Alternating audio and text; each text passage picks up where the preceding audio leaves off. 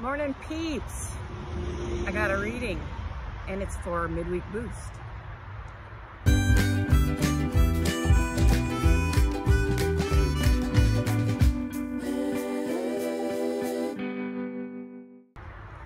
Um, this is out of the nature book. Don't know the author. The verse for today is Psalms 145, 5. On the glorious splendor of your majesty and on your wonderful works, I will meditate. I pulled my chair over to the large picture window. My hotel room had a view of the Blue Ridge Mountains, and I didn't want to miss the beauty. Dusk settled in, bringing an evening storm. Clouds moved over the mountaintops and streaks of lightning flashed. As I watched the spectacular light show, I marveled at the power of God. The next morning I noticed a tiny moth stuck to the outside of my window. I had a close-up view of its spotted wings, tiny mouth, and polished eyes.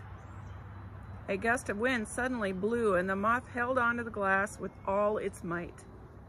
As I studied it a moment longer, I thought about the intricate workings of God's creation. God is powerful, as I witnessed in the storm the night before.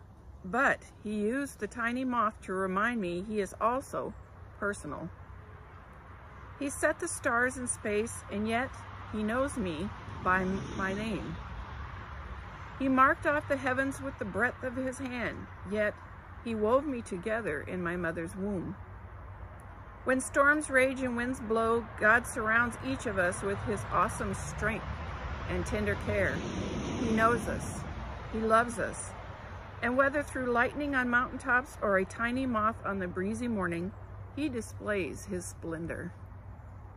I thought that was very good.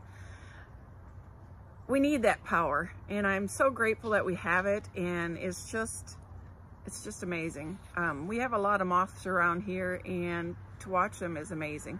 It's amazing to watch them do their cocoons and to emerge from the cocoons and all of those. It's just so amazing. And to think that he knows me in the middle of all of this splendor is even more flamazing. That's it, peeps. I hope this gives you a bit of a boost. I hope it finds you absolutely flamazing. Stay blessed. Until next time. Hey, you made it to the end. Please hit like and subscribe, and thanks for watching.